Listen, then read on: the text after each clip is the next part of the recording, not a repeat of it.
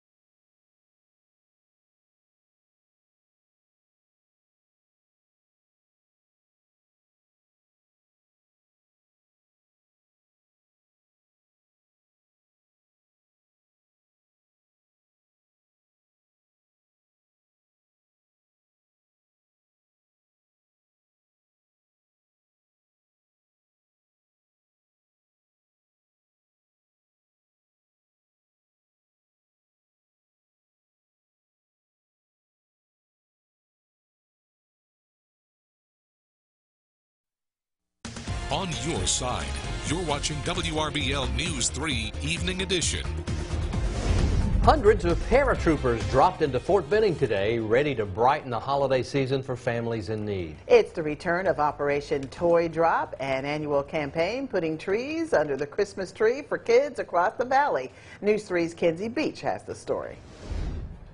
304 paratroopers jumped, each bringing a toy, and in return were awarded international jump wings. Families gathered on Fort Benning to watch as parachutes filled the sky. Participants included members from the Australian and Canadian Army.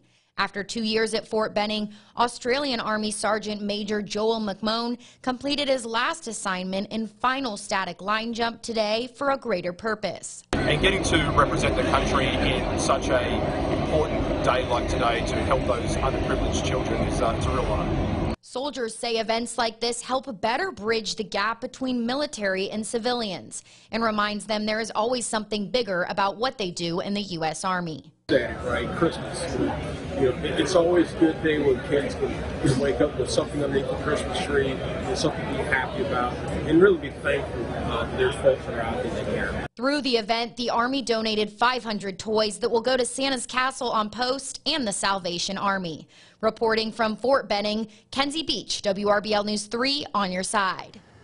And you're watching News 3 Evening Edition. More news straight ahead. But first, here's a look at what you can expect tonight on News Nation.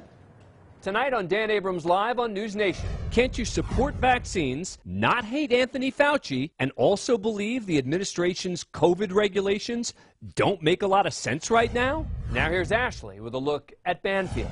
Thanks, Dan. Tonight on Banfield, supermodel Paulina Porizkova weighs in on the Brooke Shields interview with Barbara Walters and how much has changed since they were both teen models. Plus, Merry Christmas, you're fired. How one boss laid off hundreds of people on Zoom after calling them lazy. That's tonight on Banfield on News Nation. You can watch News Nation in prime time each night starting at 8 Eastern. Take a look at your screen to find out where News Nation's television provider is on in your area. Right now, we are back in three minutes. Hurt by a big truck? 1 800 call Ken. One call, that's all.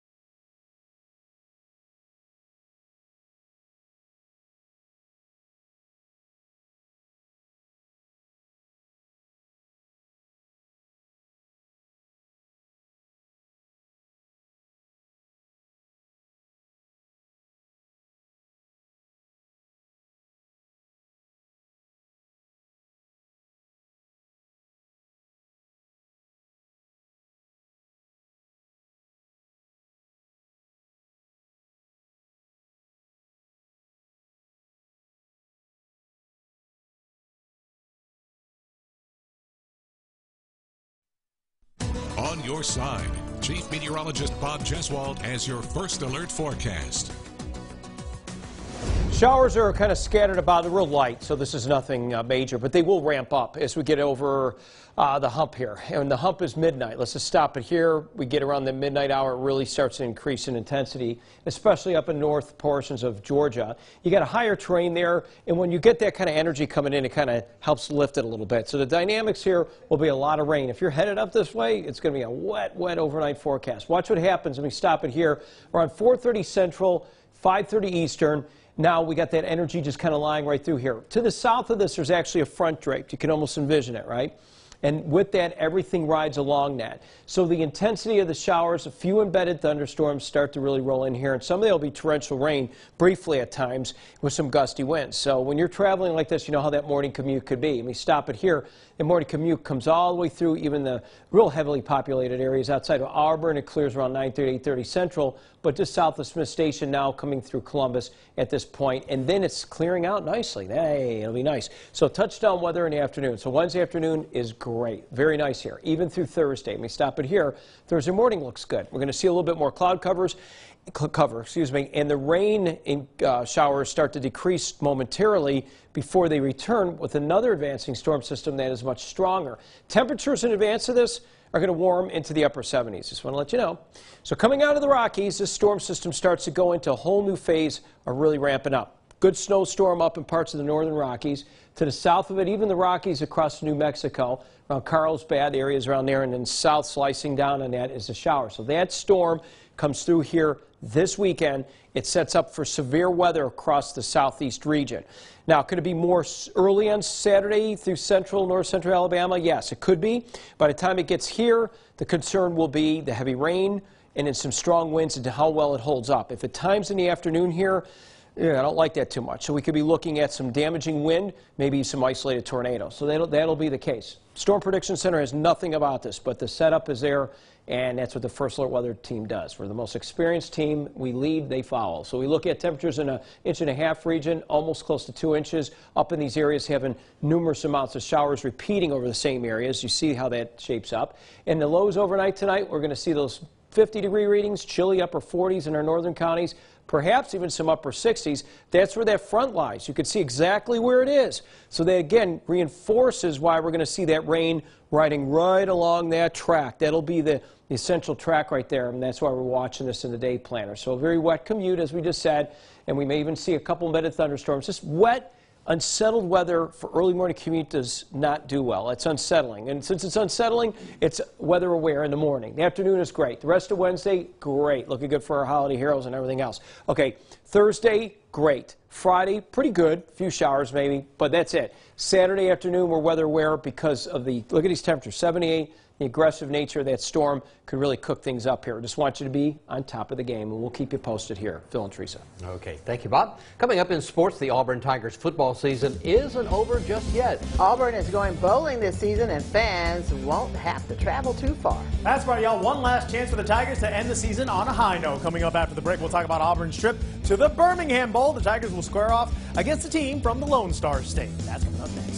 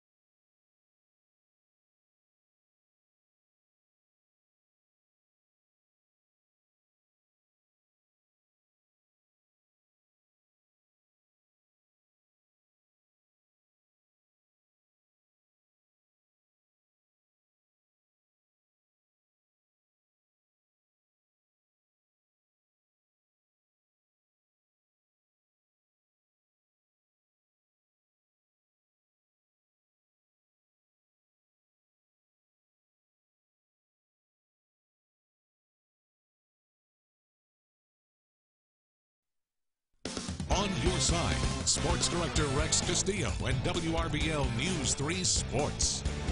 Auburn fans, the football season isn't over just yet. The Tigers are going bowling, and they're staying in the Yellowhammer State for this game. Auburn is heading to the Birmingham Bowl. The Tigers will square off against the University of Houston. The 20th ranked Cougars went 11 2 this season. Their only losses were against Texas Tech and the Cincinnati Bearcats, who are the first Group of Five team in the college football playoff this year. Now, the experts have Auburn as a two and a half point favorite over the Cougars. An interesting key to this game will be the ground attack. In both of Houston's losses, the Cougars gave up over 100 rushing yards, and Auburn's Tank Bigsby, well, happens to be one of the most dangerous running backs in the country. The Birmingham Bowl goes down on Tuesday, December 28th. The 20th episode of the On Your Sidelines podcast tipped off this afternoon, and we welcome one of the faces of Georgia high school basketball coverage, Kyle Sandy.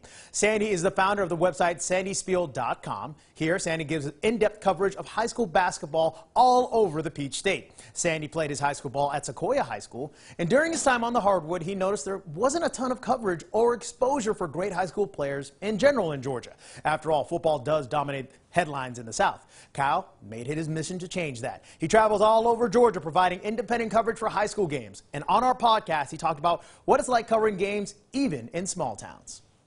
Nothing beats small town basketball when it's, you know, two good teams going at it and the communities involved. That is what high school athletics all about. And it, it does give me chills. When it's a big game, it does give me chills and my eyes do get watery, even though I haven't played – in an atmosphere like that and forever and ever and ever if i ever have played in an atmosphere that big it's a super special moment for me and i can only imagine how big it is for the student athletes involved check out the full show right now on wrbl.com under the podcast tab and click on your sidelines. I tell you guys kyle's motivation to do so well is truly inspiring. That'll do it for sports but stick around. There's more news for you coming up right after this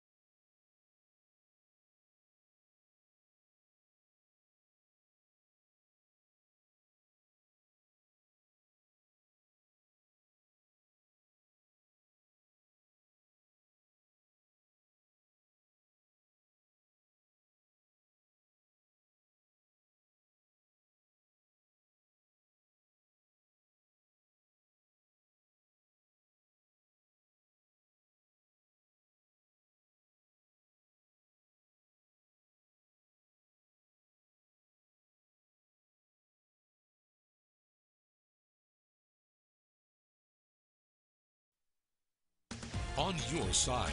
You're watching WRBL News 3 Evening Edition.